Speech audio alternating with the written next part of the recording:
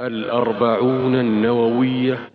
عن أبي سعيد سعد بن سنان الخدري رضي الله عنه أن رسول الله صلى الله عليه وسلم قال لا ضرر ولا ضرار حديث حسن رواه ابن ماجه والدار قطني وغيرهما مسندا.